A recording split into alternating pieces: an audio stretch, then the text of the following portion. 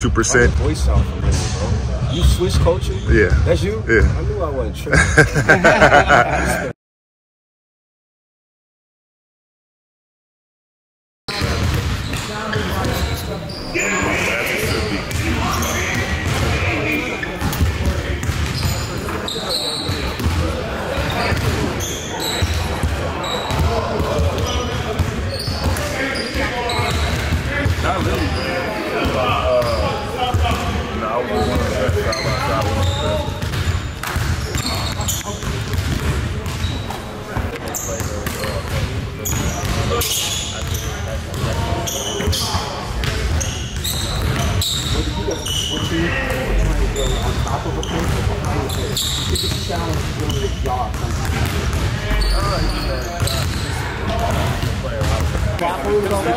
so the was a guy in the rafters.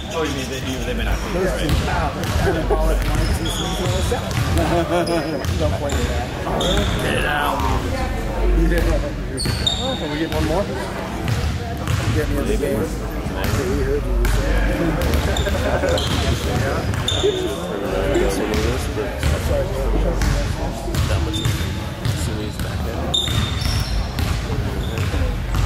We you.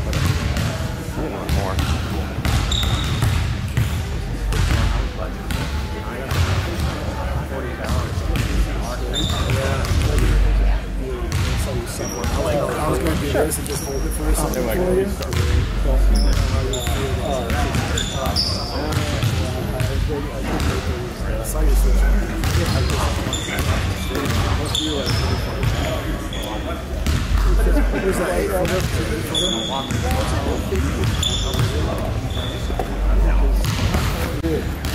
I think yeah, if you like pick like the one that you usually hold, you like the code of it, and the if you want to make it lighter, take your fuzzy off and go like moves, just collapse because like.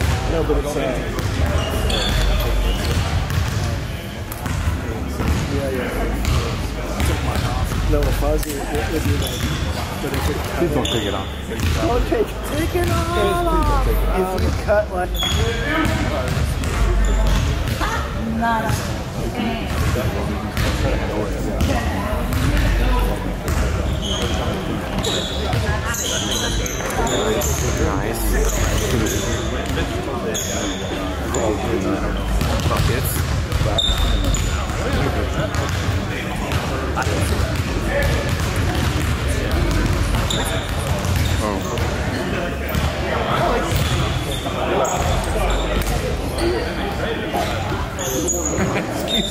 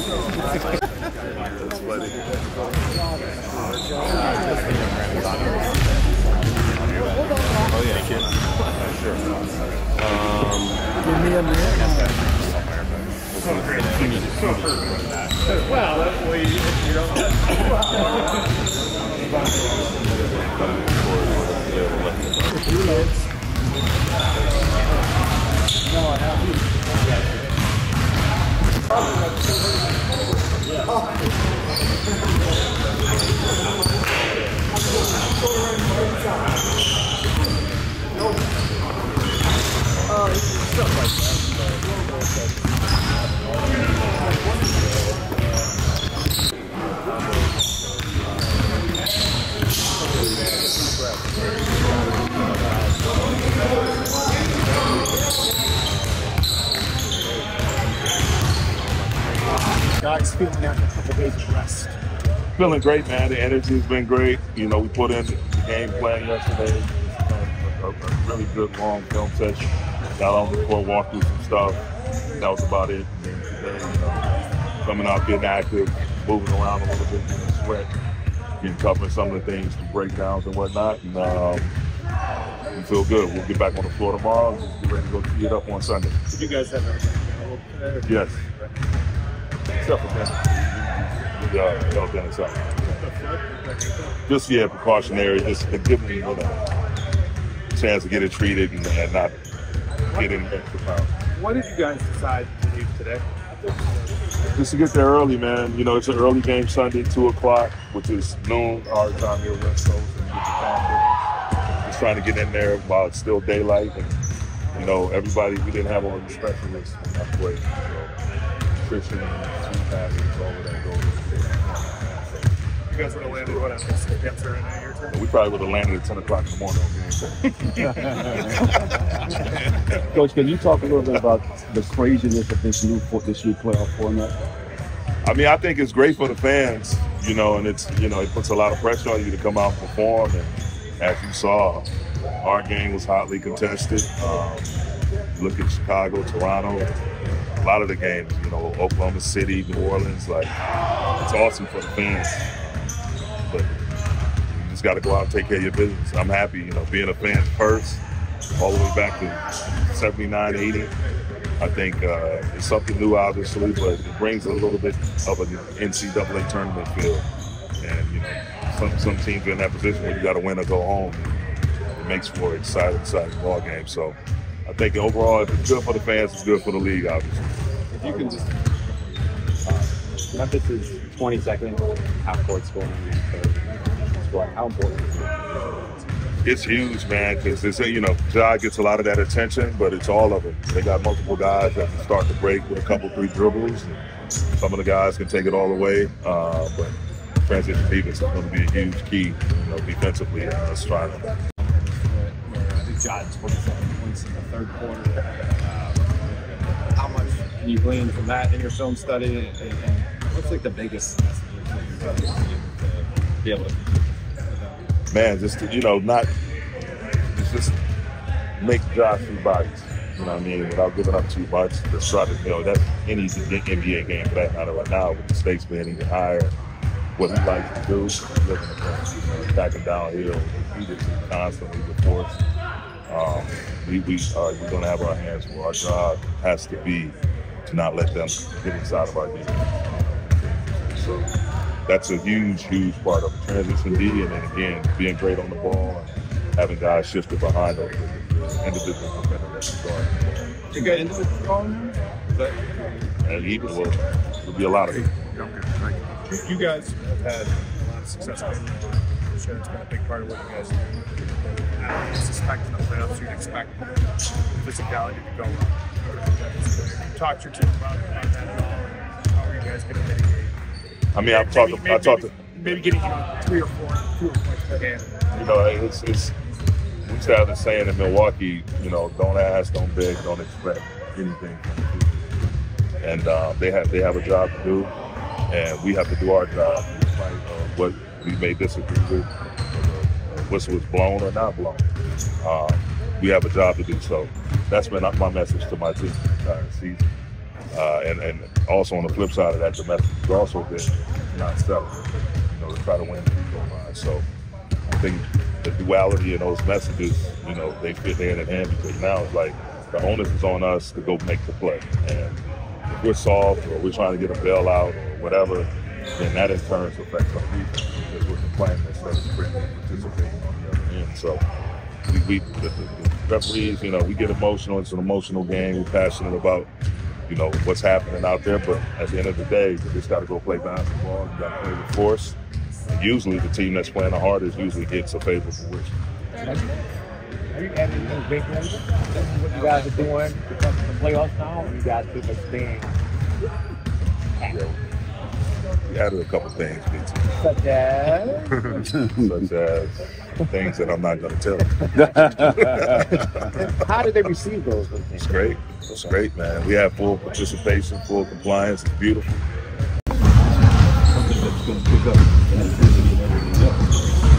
Uh, for me, I'm super excited. You know, this is the best time of the year as an athlete, as a competitor, and um, you know, coming from where we come from, and now making the playoffs, and you know, being able to play on the biggest stage, and you know, uh, you know, it's an exciting time of year.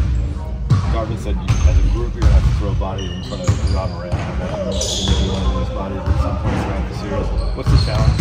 What does he bring to the table? Um, for us, the challenge really is just you know showing him a crowd, showing him bodies. You know, uh, you know he's elite in transition and uh, getting downhill. So for us, it's just packing the paint, showing him bodies, and uh, showing him different schemes too. At, this point in his career, he's kind of seen everything. You know, uh, all different coverages. So just try to be versatile with the coverages, showing him different looks, and uh, being physical with him, and, you know, throwing bodies at him. When Darvin expands the playbook a little bit, you know, add individuals that you guys can show to a team that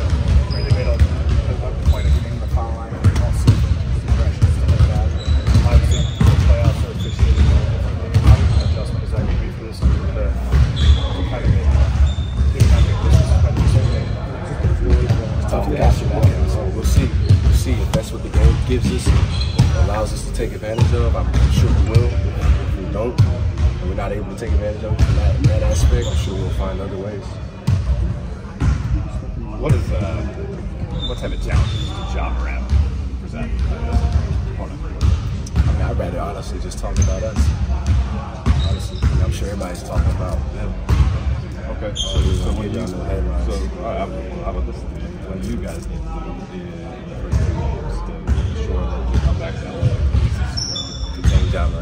Uh,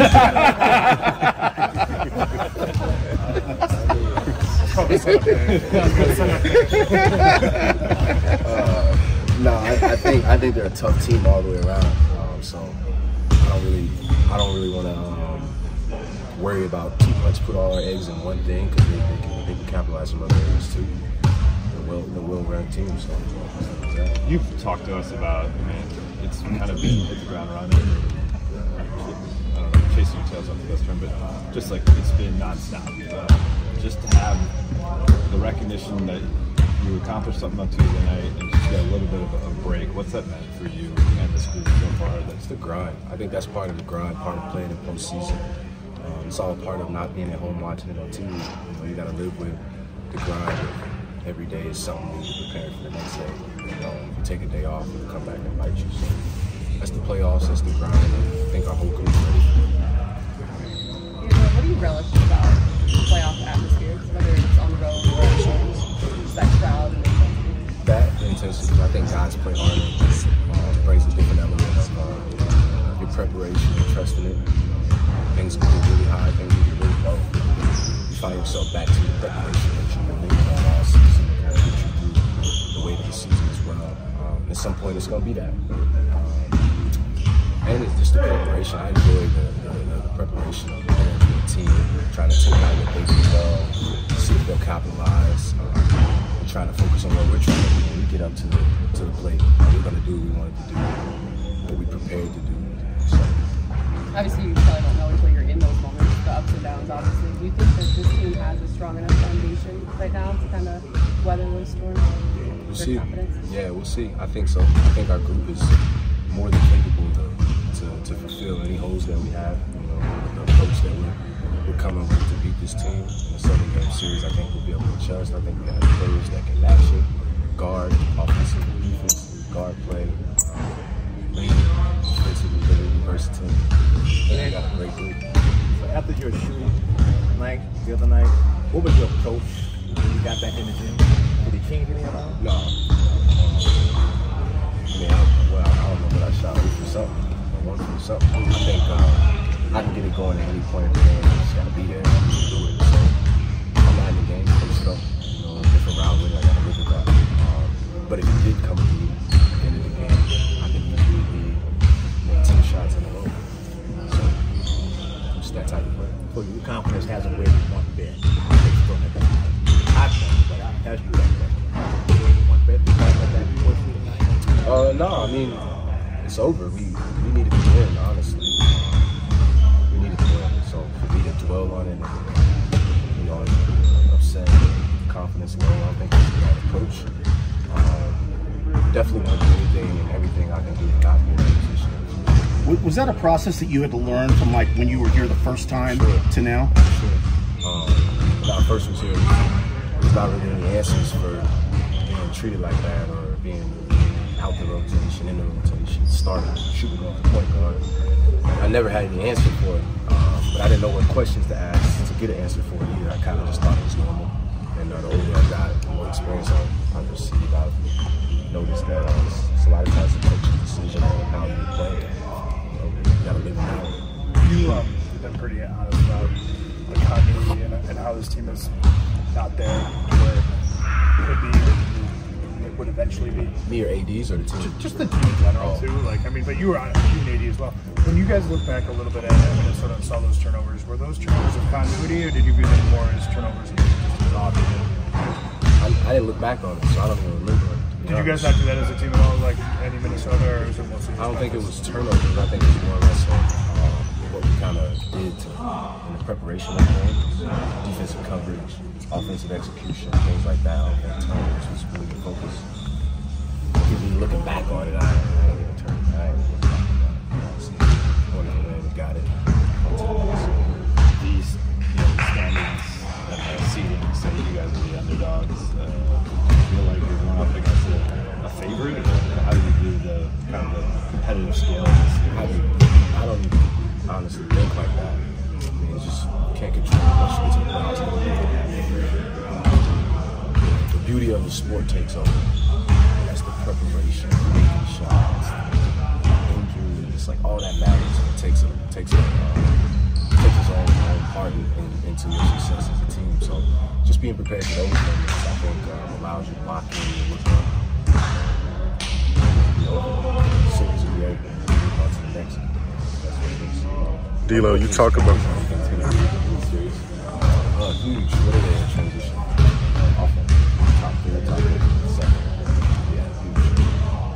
D'Lo. How's it been for you? You talk about the preparation. I mean, last three games of the season, you averaged 18 points, shot 52 percent. voice sound familiar, bro.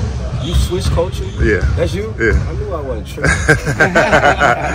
Uh, yeah, I appreciate it. Yeah, I mean, you averaged 18.7. You shot 52 percent from the field, and then even though last game you shoot the ball the best, you had eight assists. So how's it been with you, like learning different, you know, ways of going about each game? You know, you talked about the preparation. I mean, I try to show that I'm that type of player. I could have had 20 assists that night. I could have had 15 assists that night. If I'm not making shots, I can still control the game. Simple as that. I'm making shots, the game's probably over. So just just knowing that I'm that type of player, not losing any confidence, whether the coach doesn't decide to go with me or if he does, just knowing that I'm that type of player. And, uh, no, no. Do you have a personal feel for getting into town as early as Sunday's game? Like, well, you guys are leaving today. Yeah. Uh, you know, sometimes you know you don't arrive until the day before. Do you, does that matter to you at all? I mean, I think it's great. I think just to get there early, get situated and acclimated. Uh, we're there for what, six or seven days. I want to make a hotel room for like my apartment. Uh, cameras and um, blankets and things like that. So to get a day to, to kind of make my apartment home, hotel home, that feel, think that's a good thing. Okay, so now I want to know what you're bringing. So, Because he's carrying a lot. Just essentials, you know. I like the my own body wash. Salt, things like just, uh, okay, yeah. yeah, just just things that I know that um, I might not have access to from not being at home. Thanks, D'Angelo. Appreciate that. to guard multiple positions, get big, strong rebounds, physical rebounds, attacks at the rim. He has a good mid-range game, capable three-point shooter, uh, and athletic. And just his energy and, and the force in which he's played with here lately, it's, it's been beautiful, beautiful thing. Big asset for our, our ball club. Did anything change after he got ENT uh? No, no, I just told him, man, we just got to keep working through it, and um, that one was on me. But uh, as you can see, he's been in the thick of the mix with us ever since. Thanks, coach. Thank you. locking in and been playing as hard as we can. How important is transition this series? No, major. I mean, they, they get outrun.